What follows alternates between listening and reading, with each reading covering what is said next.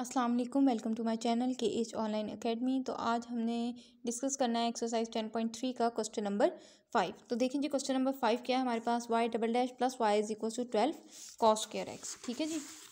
Question number five है हमारे पास। Y double dash plus Y is equal to twelve cos square X तो देखें जी, अगर आपने मेरी एक्सरसाइज टेन पॉइंट थ्री का फ़र्स्ट लेक्चर देखा है तो उसमें मैंने डिटेल से बताया है कि आपने कब, कहाँ, कैसे पर्टिकुलर सोल्यूशन फाइंड करना है। ठीक है जी? इक्वेशन हमारे पास नॉन होमोजीनियस है तो मुझे कम्प्लीमेंट्री सोल्यूशन भी चाहिए और पर्टिकुलर सोल्यूशन भी चाहिए। आपको अब तक अच्छे तरीके से आई होप के पता लग गया होगा कि हम अपनी, अपना जो कम्प्लीमेंट्री सोल्यूशन है, वो कैसे निकालते हैं। उसके लिए हमें सबसे पहले जो है, वो करेक्टरिस्टिक इक्वेशन बनानी पड़ती है। तो करेक्टरिस्टिक इक्वेशन हमारे पास क्या बनेगी? डी टू प्लस वन ठीक है जी, इसको हम इक्वल रख लेते हैं ज़ीरो के। ये मैंने कैसे लिखा है? ये आपका वाई का डबल डेरिवेटिव है, इसको लिख सकती हूँ। D two Y plus Y is equal to twelve cos square X ठीक है जी, यहाँ से वाई कॉमन आ जाएगा तो मेरे पास क्या बचेगा डी टू प्लस वन तो करेक्टरिस्टिक इक्वेशन में जो हम वाई को कॉमन लेने के बाद जो टर्म बचती है, उसको हम इक्वल रख लेते हैं ज़ीरो के। यहाँ लिख देती हूँ, अगर किसी को नहीं समझ आता तो। यहाँ से y कॉमन आएगा, मेरे पास आ जाएगा D two plus one Y is equal to twelve cos square X ठीक है जी? तो करेक्टरिस्टिक इक्वेशन फाइंड करने के लिए हम अपनी इस टर्म को ज़ीरो के इक्वल रख लेते हैं। ये मेरे पास आ गया डी टू ये वन यहाँ प्लस हो रहा है, इधर आया माइनस स्केयर ख़त्म करने के लिए दोनों तरफ़ स्केयर रूट ले लेंगे। ये इससे कैंसिल हो गया, मेरे पास डी आ जाएगा प्लस माइनस माइनस वन का स्केयर रूट क्या होता है आपके पास? आयोटा ठीक है जी? माइनस वन का स्क्वेयर रूट हमारे पास होता है आयोटा। तो देखें जी, अब आपका वाई सी क्या बनेगा? मेरे पास आयोटा में आ रहा है इमेजनरी पार्ट में आ रहा है रियल पार्ट तो मेरे पास है ही नहीं, ठीक है जी? तो जब आपके पास खाली इमेजनरी पार्ट हो तो उसे कैसे लिखते हैं? C one cos X plus C two sine X ठीक है जी? ये मेरा आ गया कम्प्लीमेंट्री सोल्यूशन अब मैंने निकालना है पर्टिकुलर सोल्यूशन तो देखो, मैंने आपको अपने एक्सरसाइज टेन पॉइंट थ्री का जो फ़र्स्ट लेक्चर है, उसमें बताया था कि हम कम्प्लीमेंट्री सोल्यूशंस कैसे निकालते हैं। उसमें आपने देखा होगा, मैंने कॉस का बताया था साइन का बताया था कॉस प्लस साइन का बताया था एक्स स्केयर का बताया था कॉन्स्टेंट का बताया था ई e की पावर एक्स साथ आ जाए तो उसका बताया था कैसे लिखते हैं, लेकिन कॉस स्केयर का नहीं बताया। ठीक है? कॉस स्केयर का नहीं बताया तो कॉस स्केयर का हम ऐसे पर्टिकुलर सोल्यूशन नहीं फाइंड कर सकते। कॉस केयर का हम एज सच पर्टिकुलर सोल्यूशन नहीं फाइंड कर सकते तो अपनी राइट right साइड को हमें लिखना पड़ेगा ट्वेल्व कॉस केयर हमारे पास किसके इक्वल होता है? One plus cos two X over two ठीक है जी? कॉस केयर एक्स किसके इक्वल होता है? One plus cos two X over two ये टू इससे कट जाएगा तो मेरे पास क्या आ जाएगा? सिक्स तो अब देखें मेरी राइट साइड क्या बन जाएगी? Six plus six cos two X तो यहाँ पे मेरे पास दो पर्टिकुलर सॉल्यूशंस बनने हैं। एक इस सिक्स के लिए और एक इस सिक्स कॉस टू एक्स के लिए, ठीक है जी? तो जब मैं सिक्स के लिए बनाऊँगी सिक्स मेरे पास क्या है? एक कांस्टेंट है और कांस्टेंट का आप बहुत अच्छे तरीके से जानते हैं पर्टिकुलर सोल्यूशन क्या होता है, सिर्फ़ ए और एक्स की पावर के तो जी सबके साथ ही आना है। ठीक है जी? अब आप देखो के को अगर मैं ज़ीरो पुट करती हूँ के को मैं ज़ीरो पुट करती हूँ तो मेरे पास एक्स की पावर ज़ीरो हो जाएगी। एक्स की पावर ज़ीरो क्या होती है? वन तो मेरे पास सिर्फ़ क्या रह जाएगा? ए क्या ये मेरे पास मेरे कम्प्लीमेंट्री सोल्यूशन से मैच कर रहा है? दोबारा देख लें।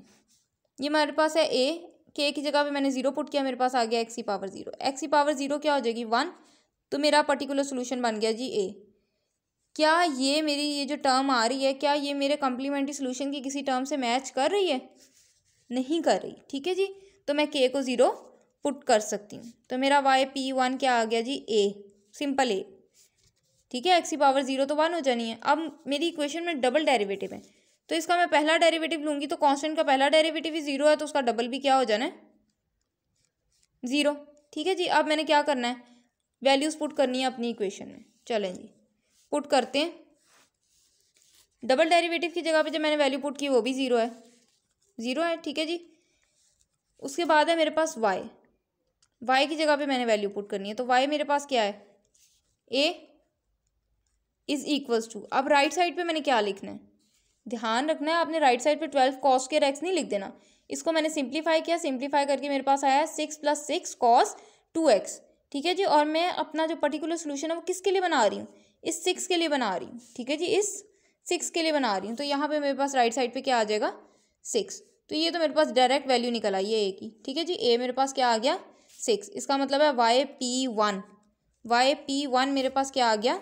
सिक्स अब चलते हैं हम अपने वाई पी टू की तरफ़। तो वाई पी टू है जी मेरे पास सिक्स कॉस टू एक्स और कॉस वाले को कैसे लिखते हैं?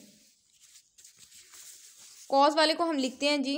अब हम अपना सेकंड पर्टिकुलर सोल्यूशन बना रहे हैं। Y P two is equal to cos वाले को हम लिखते हैं, एक दफ़ा ए आएगा, दूसरी दफ़ा बी आएगा।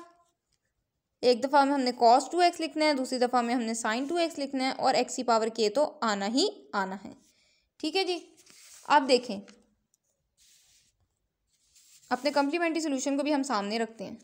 अब अगर मैं यहाँ के को ज़ीरो पुट करती हूँ के को ज़ीरो पुट करती हूँ तो एक्स की पावर ज़ीरो मेरे पास क्या हो जाएगी? वन मेरे पास आ जाएगा जी A cos two X plus B sine two X ठीक है जी?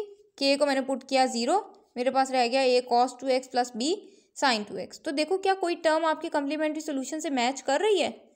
ये मेरे पास लिखा हुआ है सी वन कॉन्स्टेंट है, ये मेरे पास लिखा हुआ है ए ये भी कॉन्स्टेंट है। यहाँ कॉज एक्स है, यहाँ कॉस टू एक्स है, ठीक है? एंगल का फ़र्क है।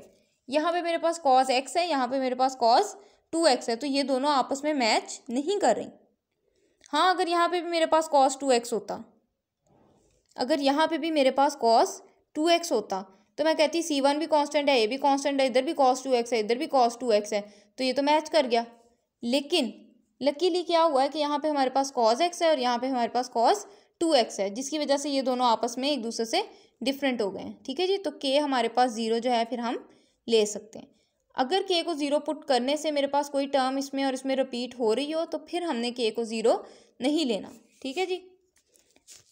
ये आपको के हमने कैसे चूज़ करना है? आप अगर एक्सरसाइज टेन पॉइंट थ्री का, मैं फिर कहती चलूँ आपको कि अगर आप उसका पहला और दूसरा लेक्चर देख लें तो आपको क्लियर हो जाएगा कि हमने पर्टिकुलर सोल्यूशन कैसे चूज़ करना और उसके बाद फर्दर हमने जो अपनी के की वैल्यू सेलेक्ट करनी है वो कैसे करनी है।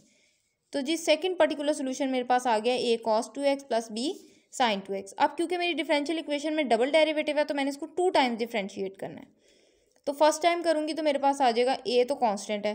कॉस का डेरिवेटिव माइनस साइन और आगे इस एंगल का डेरिवेटिव लूँगी तो क्या आ जाएगा?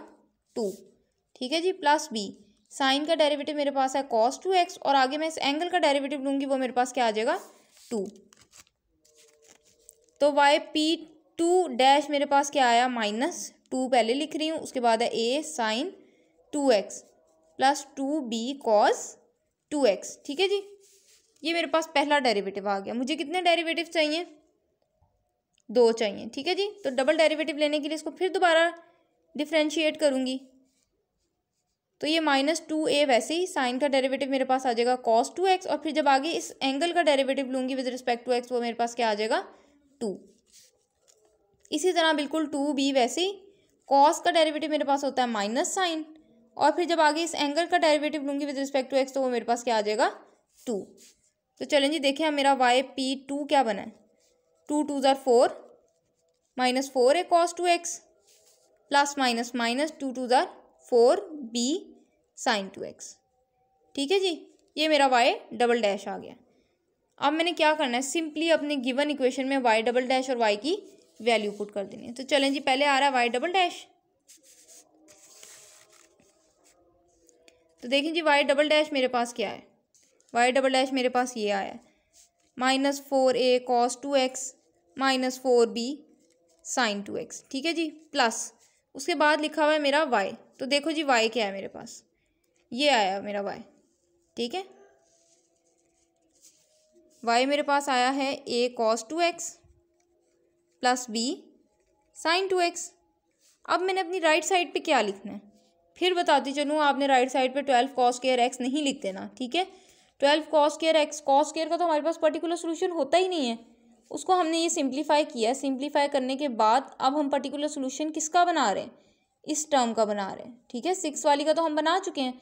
अब हम पर्टिकुलर सोल्यूशन सिर्फ़ इस वाली का बना रहे हैं। तो राइट साइड पे भी मेरे पास सिर्फ़ वही आएगा। Six cos two X minus four A plus A ये मेरे पास आ गया जी minus three A cos two X minus four B plus B तो ये मेरे पास आ गया minus three B sine two X is equal to six cos two X ठीक है जी? अब अगर आप कॉफिशेंट कंपेयर करें कॉस टू एक्स के दोनों साइड्स पे तो लेफ़्ट साइड पे मेरे पास इसका कॉफिशेंट है माइनस थ्री है और राइट साइड पे मेरे पास इसका कॉफिशेंट है सिक्स माइनस थ्री ए मेरे पास इक्वल आ जाएगा सिक्स ठीक है जी? दोनों साइड से मैंने कॉस टू एक्स के कॉफिशेंट कंपेयर कर लिए. अब ये माइनस थ्री मेरे पास ए के साथ मल्टीप्लाई हो रहा है, इधर आएगा तो डिवाइड हो जाएगा तो ए की वैल्यू मेरे पास आ गई माइनस टू थ्री वन ज़र थ्री थ्री टू ज़र सिक्स और ये साइन है माइनस का. ठीक है जी? अब हमने क्या करना है? अपनी लेफ़्ट और राइट साइड से कॉफिशेंट कंपेयर करने हैं साइन के। साइन का लेफ़्ट साइड से मेरे पास कॉफिशेंट है माइनस थ्री भी और राइट साइड पे क्योंकि साइन है ही नहीं तो उसका कॉफिशेंट फिर क्या हो जाएगा? ज़ीरो तो ये माइनस थ्री बी के साथ यहाँ मल्टीप्लाई हो रहा है, इधर आके ज़ीरो पे डिवाइड होगा तो ये क्या हो जाएगा? ज़ीरो बर मेहरबानी, ध्यान रखिएगा, ये नहीं करना कि ये माइनस थ्री यहाँ माइनस हो रहा है, इधर आके प्लस हो गया। आप देखो, ये बी और थ्री के दरमियान में क्या कोई साइन है? नहीं है। जब दो टर्म्स के दरमियान कोई साइन ना हो, इसका मतलब वो आपस में मल्टीप्लाई हो रहे हैं। ठीक है जी? तो ए मेरे पास माइनस टू आ गया बी मेरे पास ज़ीरो आ गया। अब आपके पास ए और बी की जो वैल्यू आई है, उसको आप वापस अपने पर्टिकुलर सोल्यूशन में पुट कर दो। तो ए मेरे पास निकला है माइनस टू तो ये मेरे पास आ जाएगा minus two cos two X B zero है। जब ज़ीरो से मल्टीप्लाई होगा तो ये ख़त्म हो जाएगा। ठीक है जी? लिख देती हूँ मैं यहाँ पे ताकि आपको मज़ीद क्लियर हो जाए। सेकंड पर्टिकुलर सोल्यूशन मेरे पास आया है। यहाँ पे मैंने ए की वैल्यू पुट करनी है यहाँ पे बी की। तो ए मेरे पास आया है minus two cos two X B मेरे पास आया है ज़ीरो साइन टू एक्स ठीक है जी? ये ज़ीरो से मल्टीप्लाई होगा, ख़त्म हो गया तो वाई पी टू मेरे पास आ गया minus two cos two X ये मेरे पास आया जी वाई पी टू ठीक है जी? अब मैंने क्या लिखना है? मैंने अपना वाई लिखना है। वाई मेरे पास है जी Y C plus Y P तो वाई पी मेरे पास निकले कितने हैं? एक वाई पी वन था, एक वाई पी टू था। ठीक है जी? एक मेरे पास वाई पी वन था, एक मेरे पास वाई पी टू था। तो आपने बस यहाँ पे वैल्यूज़ पुट करनी है, अपने कम्प्लीमेंट्री सोल्यूशन की, पहले पर्टिकुलर सोल्यूशन की और दूसरे पर्टिकुलर सोल्यूशन की। तो चलें जी, देखते हैं हमारा पहला कम्प्लीमेंट्री सोल्यूशन क्या निकला था। ये हमारे पास है जी complementary solution C one cos plus C two sine ठीक है जी C one cos plus C two sine simply आपने बस यहाँ पुट कर देना है। वाई सी मेरे पास था C one cos plus C two sine अब मैंने वाई पी वन देखना है कि मेरे पास क्या था। वाई पी वन ये लें जी। वाई पी वन मेरे पास क्या था? सिक्स आपने ये वैल्यू नहीं पुट करनी। कॉन्स्टेंट्स की वैल्यूज़ अब हम निकाल चुके हैं वाई पी वन मेरे पास कितना निकला है? सिक्स निकला है। तो यहाँ पे आपने जी वाई पी वन की जगह पे क्या लिख देना है? सिक्स और वाई पी टू मेरे पास क्या आया है? ये आपके पास ऊपर ही लिखा हुआ है। Minus two cos two X ठीक है जी? तो ये मेरे पास आ गया मेरा वाई तो ये था जी हमारा एक्सरसाइज टेन पॉइंट फाइव का question number ten point three का question number five and it is the most important question from exam point of view and I hope so कि आपको ये मेरी वीडियो समझ आ गई होगी, आपको पता लग गया होगा कि आपने कहाँ पे पर्टिकुलर सोल्यूशन किस तरह से फाइंड करना है। तो मैं उम्मीद करती हूँ कि मेरे लेक्चर्स आपके लिए हेल्पफुल रहेंगे तो अगर आपको मेरी वीडियो अच्छी लगी हो तो उसको लाइक कर दें और उसको सब्सक्राइब कर दें ताकि नई आने वाली अपडेट्स आप तक बसानी पहुँच सकें। तो इन जल्दी मिलेंगे अपने नए लेक्चर के साथ। तब तक के लिए अपना ख्याल रखिएगा। अल्लाह हाफिज़।